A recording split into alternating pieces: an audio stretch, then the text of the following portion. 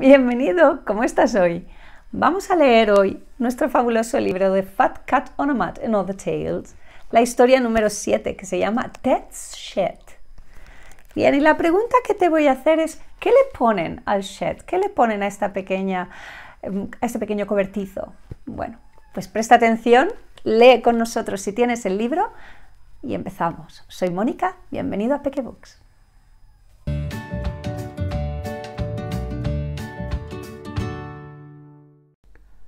Today we're reading Fat Cat on a Mat and Other Tales.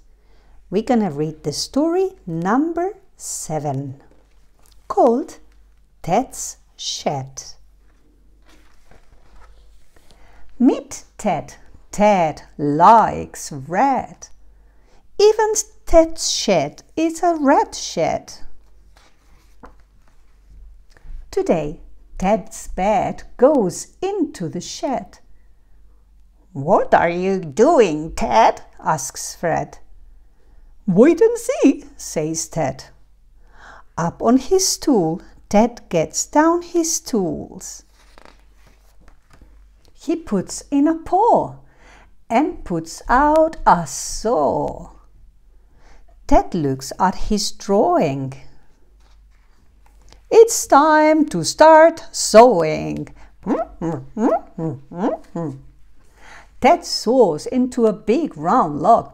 Hmm, hmm, hmm, what are you up to? asks Pup the dog. Wait and see, says Ted. He saws off a big round slice. This wood is good. This slice is nice.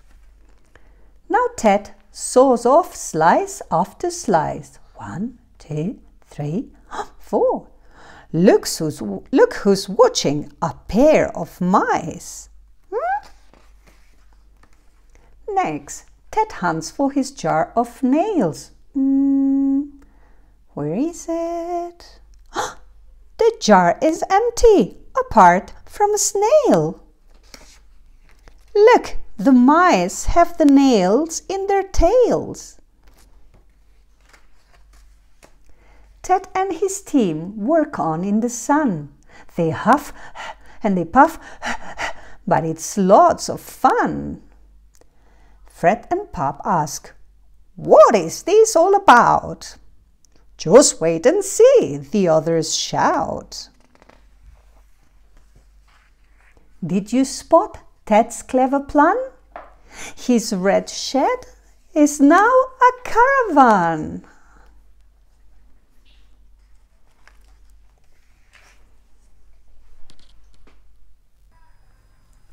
¿Qué te ha parecido? Gran cambio el que hacen, ¿verdad? ¿Sí? ¿Ya sabes lo que le ha puesto al cobertizo? Vamos allá. Ruedas. Ahora ya no es un cobertizo, es una caravana. Muy bien.